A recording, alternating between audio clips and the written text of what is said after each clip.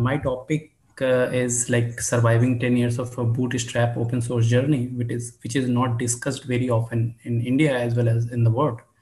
So I'll discuss a lot about uh, like how you can create a bootstrap company with the open source instead of like open source bootstrap company and survive for 10 long years. So without any further ado, uh, my name is Vipin Sahu and I'm a director and co-founder right here at Webkul. You can also find my uh, Twitter handle below the picture. Thanks to the organizer. Th thank you very much for the open source India. Uh, it is a very nostalgic and emotional moment for me because last like uh, 10 years back, I used to read the magazines from Electronics for You, Linux for You, and uh, Open Source for You, such kind of a magazine I used to read a lot. I learned a lot actually. And I'm very thankful to the organizer, that even honored as well, that I'm speaking on the same uh, same uh, seminar, like same platform, which Open Source uh, Electronics for You has been cre have created actually. Uh, this is something very important and it's a kind of a disclaimer as well that uh, whatever i'm going to tell you yeah, what or whatever i'm going to express my uh, views. It is like my, my personal views is like uh, the journey which uh, which i have created the journey which i have traveled in. So it is very much possible that it may not suit you. So the thing is i personally consider that everyone should create their own story. And that is something uh, that's why it is very very important that uh, you can learn a lot of a lot from this talk. But uh, it is not very often that it may not fit for your requirement so Webkul is a um, self-funded, bootstrapped, 100% bootstrap company. Webkul has been created like by 2010 by three co-founders, Vipin Sahu, that's me, Vinay Yadav and Prakash Sahu and uh, um, uh, till then uh, we are constantly growing in especially in the open source way and in the bootstrap way. Especially if you know like uh, the name webkul the web stand for technology and the kul stand for uh, the community. So you know the genesis of open source is in our company. Uh, Webkul is not a single idea based company. Uh, we are working a lot and lot of technologies from the marketplaces to omni-channel connectors to ERP to CRM to master data management to product information management to B2B and warehouse and mobility, also machine learning as well. But not limited to IT, we are also working on uh, hardware as well. Prior to pandemic, uh, we have shipped a couple of our point of sale system that is totally hardware and the combination of hardware and the software. Uh, here is a small journey you can see, not a small actually, it's a 10 years long journey.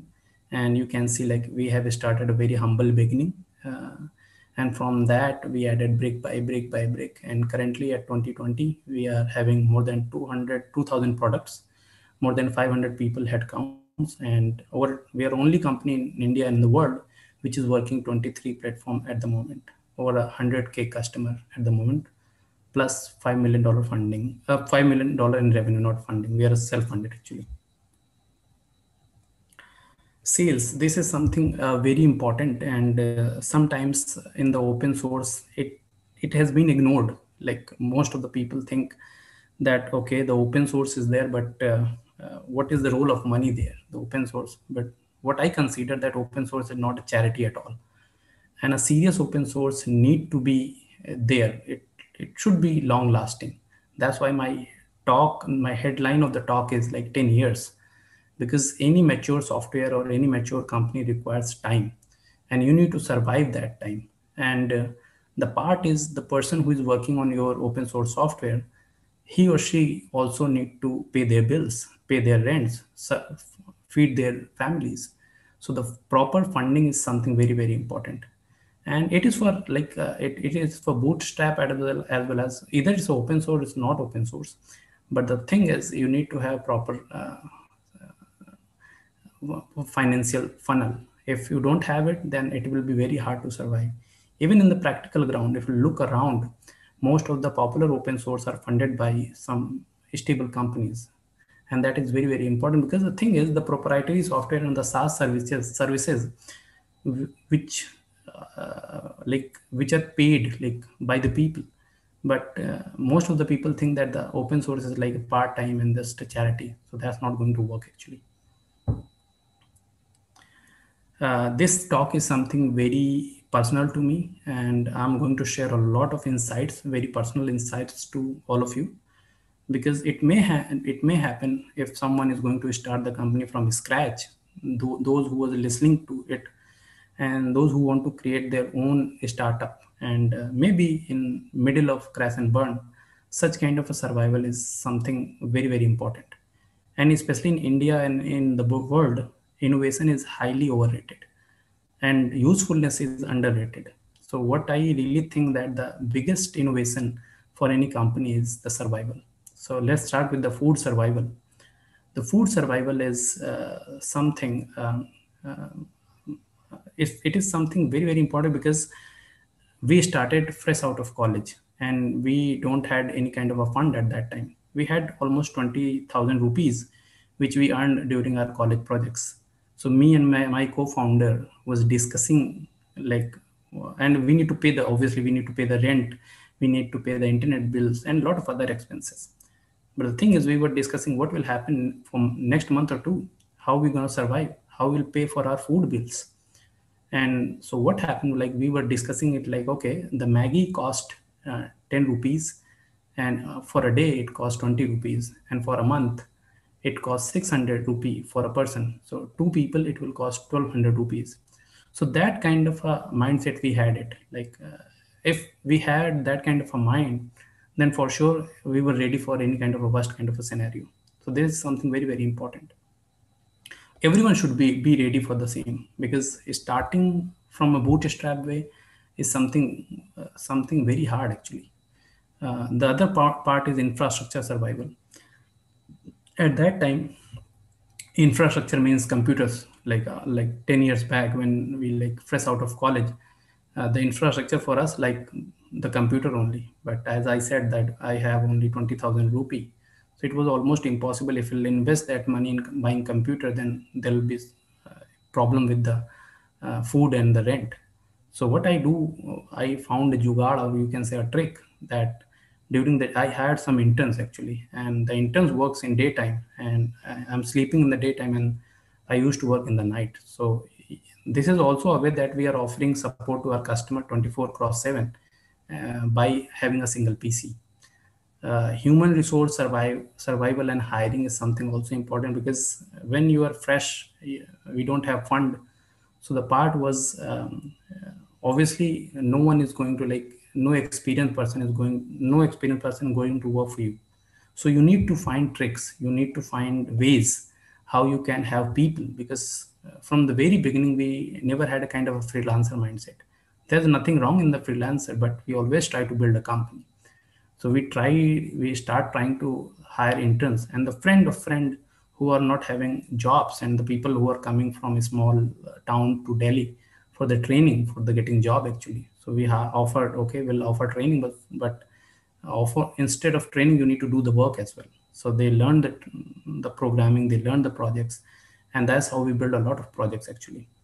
The cost survival is also one of the uh, main uh, surviving technique because obviously because of lack of fund we are not going to survive at all. So we always prefer open source uh, from the our IDE to our uh, web hosting to everything. We always go for open source. Customer is something very important for us because a boot in a bootstrap company, customer means everything. Customer means customer is an investor for us, and you need to retain the customer. That's fundamental thing because if you are losing, if you are earning two customer in a month, and end of the month you are losing that customer, then certainly the next month will start from zero, and then you need to invest again that amount of effort of uh, finding customers. So this is something very, very important. In a bootstrap company, your investor is your customer. Uh, also, uh, there's a part that you should choose what part you should choose if you're opening an open source and a bootstrap company. What I suggest, don't go for a very crowded or hot or funded space. If there is a lot of player, then it will be very hard to survive there because they have a lot of fund previously. They have a lot of uh, experience and fund and it will be very hard to compete. Try to have different niche kind of a market but make sure there is a market. A small is fine but make sure there is a market and try to build something there. And that's how that's how we started we started building plugins web plugins. And at that time in 2010 it wasn't like a serious business at that time. But we keep adding keep creating values and we keep creating plugins and those ideas of creating plugins is like give us a lot of hope give us a lot of and most importantly paid our bills. And because of that we able to hire people. Uh, people learn it. Our colleagues learned how to do small codes without having any pressure cooker kind of a pressure that you should do big software scalable software. We started with a very small with a very tiny uh, products. We start we started to sell web plugins and in this way we also learned how to sell. This is something very important because all of our founders are engineers. Uh, they don't have any uh, business degree or they don't have any, even have any experience kind of in terms of selling. So that was very very important for us. The other was the marketing and the seo this is even till then Webkul is not investing uh, money in terms of uh, uh, paid promotions. And the reason is very simple. Even in the starting days if you search like some very uh, highly dense keywords google is charging tens and hundreds of dollars for a keyword ppc that is something. We can't afford that. So you need to sir you need to look upon the other ways. Like okay the search engine optimization is one thought. The other thing is organic marketing. And that's kind of uh, techniques which uh, which we have applied in our business. And after 10 years we are still doing so and we are still thriving in that way we survived we thrived and then we won. Uh, the other important factor is okay, build a company for a thousand years. And uh, when we were starting a company so we were thinking like why another company? Why we are going to create another company? Is there any motive? And what i really think if the person have motive that okay they go for an early exit getting instant rich or quick ipo and then get a rich or get on the tv on the media coverage on the front or the billion dollar idea or valuation such kind of stuff. If such kind of stuff is not a very good way to start a company it's not there's no actually there's no impact actually. The money is will be there the money will be there but the money is not the only motive to start a company. And the great impact can be done if you are surviving the business for at least 10 minimum years because the changes and the impact happen when you survive for long and the companies should be there the indian company should be there for hundreds and two, 200 years and then only they will be able to create a jobs obviously the jobs is important but in terms of values in terms of knowledge such things is also very very important uh, the other thing is like open source and bootstrapped. Bootstrapping. Why open source and a bootstrapping as a business model? The thing is, it's very common that uh, at that time in 2010, it fresh out of college, we people fresh out of college, and the open source as a business model, no one is going to fund it, especially the freshman people. We don't have any connection in industry. We didn't have any industry experience. We don't have any VC contact so the part was it was quite uh, we understand it that it is almost uh, uh, impossible to get funded even nowadays even after like in 2020 it is very hard to get funded actually a couple of my friends who is like in the business eh, is in the job and they're trying to create their company in a vc way it is very hard to get funded even nowadays so we always believe what is our strength and we always worked on that kind of a part so we start building it up. We keep creating, keep creating, keep creating a lot of products. We have created, currently we have more than 2000 plugins. It's like beyond no one in the world matches with us. Uh, the other part was that in the starting days, uh, obviously uh, open source projects requires time. So you need to survive that time. And uh, so in that time, we also worked on the service project we work on the support projects but we keep we did a balance actually so balance is very important we were very much focused on the product and we keep creating products technical products actually. And because the service project for us is means like renting time. And uh, you cannot add value by renting time. Renting time is okay the job creation is there the service project is okay. Uh, job creation is there value addition is there but the, for the product product as the product grows older and older it gets more valuable if you're adding constant value in it. So we always had that kind of a mindset. Uh, the other aspect of why we started as a open source bootstrap company after six or seven years when we get when we had enough fund so even we got a call from a couple of vcs but we said no we don't want your money at the moment. The part was because we want to have a freedom. We want to have experiments. We want to do a lot of experiment. We do we did a lot of failed experiment actually. But that's the beauty of the ownership. You're putting complete ownership then you can do a lot of experiment. And then we within a webkul we are running more than 20 startups. And a lot of uh, projects it has been funded by us actually. So that's why we have chosen the open source and the bootstrapping model.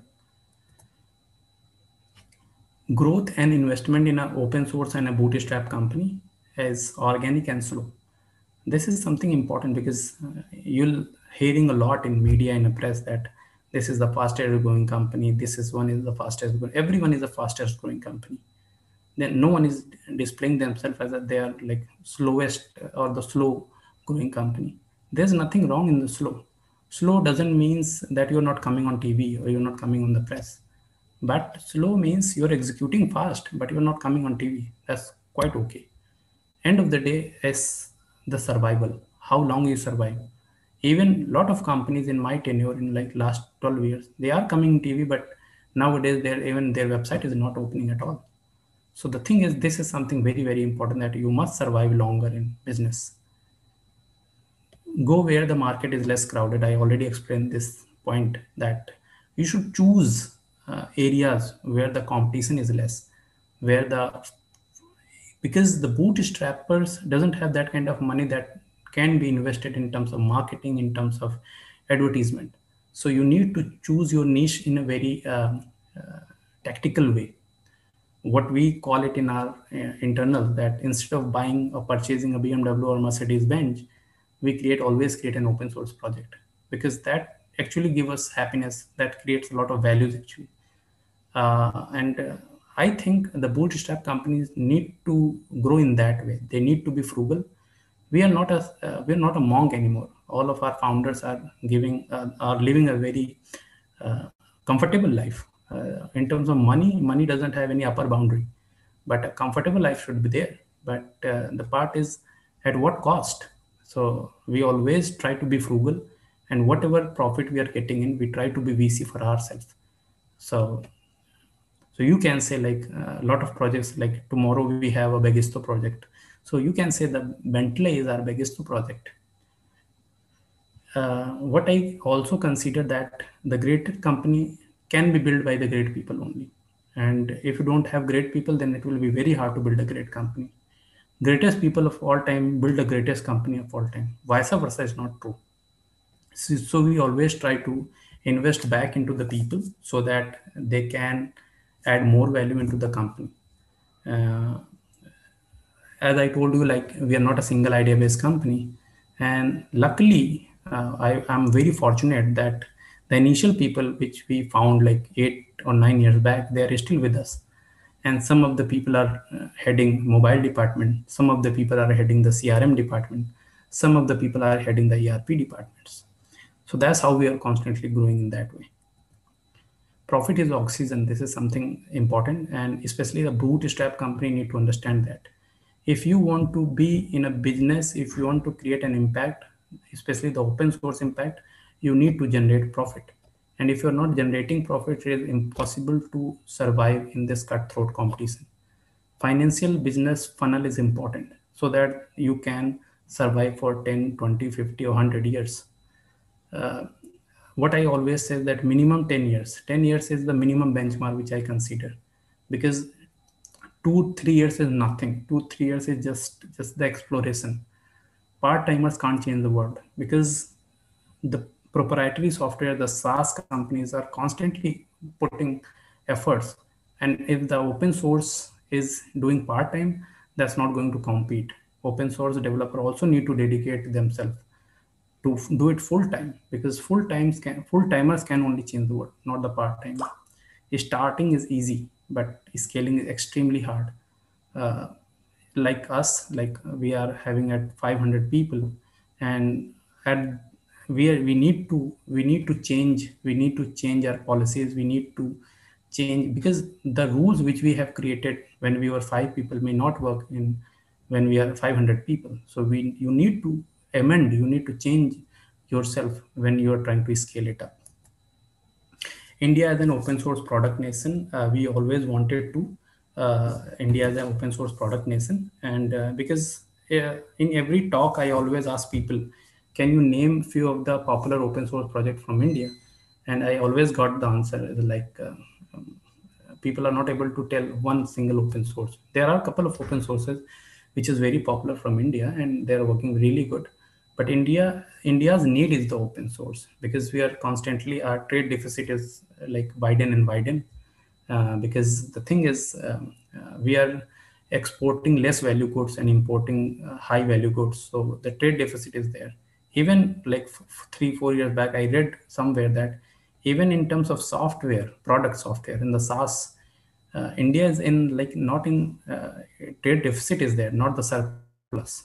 So uh, and the open source software is not limited for IT only. That also require in healthcare, in terms of agriculture, kind of a system, and that will happen only if we create role model in open source. Uh, we should start colleges, universities, and schools should start teaching about the open source so that the people may get aware about the what is this open source is all about. I always believe that complaining is easy, but fixing is hard. Fixing, fixing is hard always. So instead of complaining that no one is going to create open source, let's start with us. The 5,000 people, 5,000 attendees are here in this event. Let's start with one and then let's start doing it. Don't don't think that you you are going to do the perfect code. No one is perfect. Perfect code does not exist at all our contribution to the open source is like uh, we have 11,000 uh, GitHub, more than 11,000 GitHub stars at the moment, which is a very significant I consider. Uh, we have created a couple of very popular open source like Bagisto is there, uh, which is a first successful e-commerce from India. And then there's a UVDesk that is open source help desk system. The hotel commerce is there, open source uh, hotel and inventory management system for the hoteliers then we created cool CoolHue it's a tool for designers designer can create the gradient out of it the micron.js is a uh, interaction library for the animations. Uh, vivid.js is a javascript library for creating svg icons. So such kind of experiment we do a lot of experiment. We we are also working in other open source projects as well. Webkul is not limited to our own uh, open source project. We are constantly contributing to the other open sources like Magento. Uh, we are the we, we, are a very known Magento company, we are very known Magento development company. We have won various awards, and we are the only Indian company who got five times Innovation Lab Award from the Magento, uh, two times Top Selling Extension Award from the Magento. We are a contributor and the main partner in the OpenCart which is very popular uh, shopping cart software. The PrestaShop, which is very popular in Europe, we are also contributing to the source code of the PrestaShop. Same with the WordPress and the WooCommerce. Akeneo is a uh, PIM software, the product information enterprise software. We are also contributing to that. And there's Odoo, the open source ERP software. And we are a leading company in Odoo development. We are Odoo partners as well. And we are constantly contributing to the uh, Odoo source code repository as well uh, lot of people are recommending back to us like this Daniel Kerr is open code open cart founder and owner. They are also recommending us because of our constant contribution to the open source. Thank you very much. If you have any uh, q&a please let me know. I tried my best to finish the talk within the time. Thank you mr sahu. That was a wonderful wonderful session and I thank you on behalf of Open Source India as well as India Technology Week platform. Uh, Mr. Sahu, if you can, you know, uh, elaborate on the five biggest challenges in the journey of open source that you have had to face. Uh, there are many actually. Uh, the part is uh, the fund is something very important. Uh, the fund is most of the people ignore it, but the fund is something very important. You need to have a proper funding, else you cannot survive at all. The other part is acceptance. Like uh, society does not accept you, and many times our people leave the job in the starting days because they want to work in a known brand company. we didn't had a brand that time so people leave because they are not getting married because they don't had a brand that time so people don't like come the society and the people don't take you seriously this is the another factor which is uh, very important um, the other part which i consider is like growth. Uh, the growth is something like um, uh, open source model uh, uh, like the financial model of open source is not that like a subscription as a service kind of where you're getting money getting money at every month you're doubling the money. In the open source the famous model is like services and the partnerships and the services and such kind of stuff is there just received a question where uh, you've talked about the funds and money right? How do you manage that? Yes that's a very wonderful question actually. So that i told you that uh, we as a partner as a founder we always to have our finances are very uh, kind of a limited. We are salaried people. We don't consider ourselves that okay whatever whatever money we are getting it we always try to put back into the company so that is important because in this way you are able to create more and more uh, departments. And more and more departments is important because uh, especially in the covid situation like couple of our softwares are not working a couple of our areas are not working because the demand has been decreased but other software has worked really well. So you need to create departments and you need to uh, uh, ask people you need to add more people on it and then obviously you'll get more and more revenue out of it. Perfect. Thank you mr sahu. I thank you on behalf of uh, open source india and india technology week platform. This is the uh, 2020 edition of Open Source India. Before we part ways for today, any final thoughts? Okay, as I already told you, like um, it is an emotional and nostalgic moment for me because I used to read a lot about uh, from like from the magazines like Electronics for You, Open Source for You, Linux for You. I was very fond of Linux for You, and uh, it is kind of a uh, can say it's an honor to speak in such kind of an event. Uh, because the part is especially for the open source and the bootstrap uh, companies there's no proper platform is exist in india.